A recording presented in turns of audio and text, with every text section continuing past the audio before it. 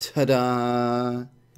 It's me, Yandere Dev, dressed up as R. Mika from Street Fighter V.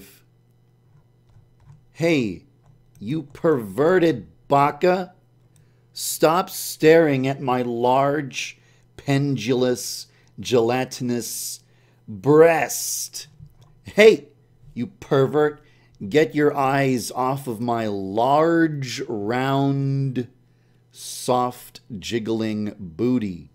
Stop staring at the parts of my body that jiggle and sway and flap in the wind.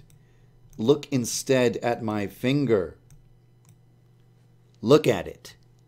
It's pointing towards the bright, bright future that awaits us. Stop, stop, stop, stop, stop regarding me with a lewd gaze.